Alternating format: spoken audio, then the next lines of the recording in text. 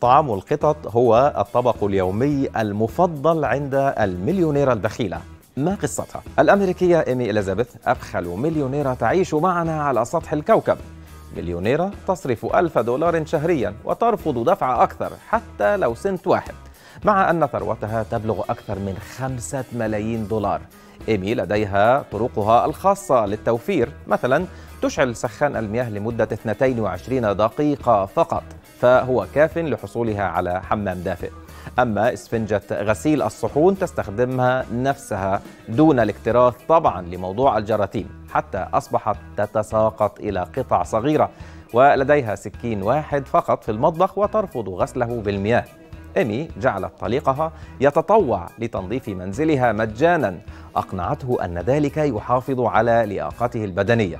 أما هي تمكنت من توفير 400 دولار رسوم التنظيف. وبعيدا عن الطائرات الخاصة تتنقل بسيارة عمرها 17 عاما.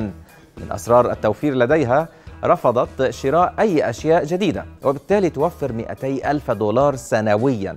أهم شيء أنها لا تهتم بالانتقادات التي تتعرض لها بسبب اتباعها هذا النمط المتطرف في المعيشة. والجميل أنها ألفت كتابا لتنقل خبرتها وتجربتها للآخرين.